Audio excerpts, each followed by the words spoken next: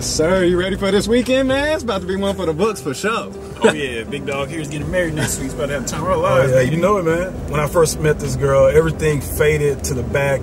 All I saw was she and I, and it's just been amazing, man. She sounds perfect. She does, for sure. I- I'm glad you found me a good one because I know it's hard out here. It is. For real. It is. Trust me. It's hard, uh, you know, but you know, I'm looking forward to the good uh, as well as the bad. I'm, I'm, I'm really, really looking forward to it next month. Yeah, man. Stay, Yeah, man. stay positive, bro. I think you should just take a step at a time. You know what I mean? I. As long as you pay attention to the warning lights, you'll be good, bro, man. You deserve this, bro. Well, like, what you, what you mean? You know something that I don't know or something? Uh, No, I just mean like with warning lights, it's just like in the car. They got like collision sensors, they got lane assist, you know, these things that just help you avoid danger. You know what I mean? Oh, okay, okay, okay. I know for me, like in my past relationships, I could have did a better job at looking at the signs. So if you look and just pay attention to those signs, bro, I know it's it's gonna be really good for you. You know what I mean? You're gonna avoid a lot of arguments and a lot of attitude for sure. That actually makes a lot of sense. What do you think I should do to make sure that we like, you know, stay together forever though? like I said, bro, I think it's just taking it a step at a time. You know what I mean? The person that you marry is not going to be the same person 5, 10, 15 years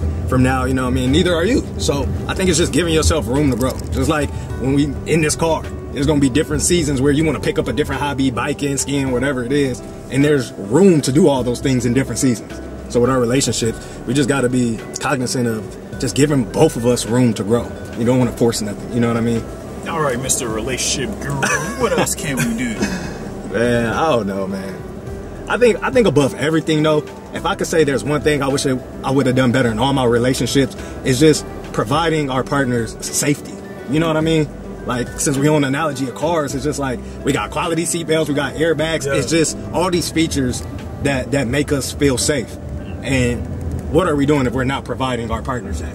You know what I mean? I'm not saying I'm an expert or nothing. I'm just saying if she feels safe, that's going to give us room to get through a lot of different, uh, you know, problems in life, especially since we're talking about longevity. Well, that's exactly what I'm gonna do. Man. I'm gonna make her feel safe. Yeah, what I'm gonna do. So which one of y'all next? Who's next?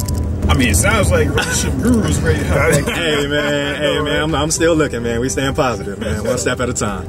Absolutely.